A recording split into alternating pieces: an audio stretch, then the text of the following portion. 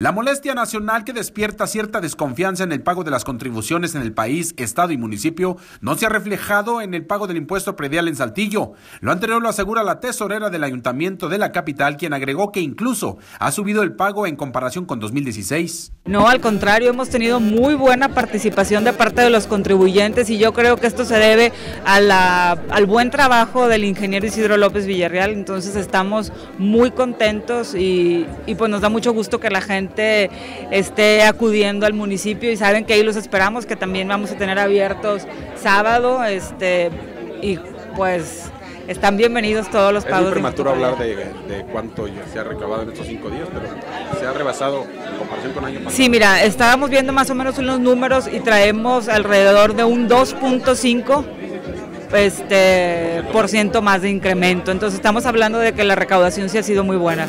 ¿Cuánto llevan aproximadamente? El monto exacto no lo tenemos ahorita aquí, pero yo pudiera decirles más o menos que por día estamos recabando alrededor de más de 5 millones de pesos. Dijo que se pretende que 2017 lo recaudado supere al año anterior con el cobro de 250 millones de pesos. Con la imagen de Marco Gamis para RCG informó Enrique Hurtado.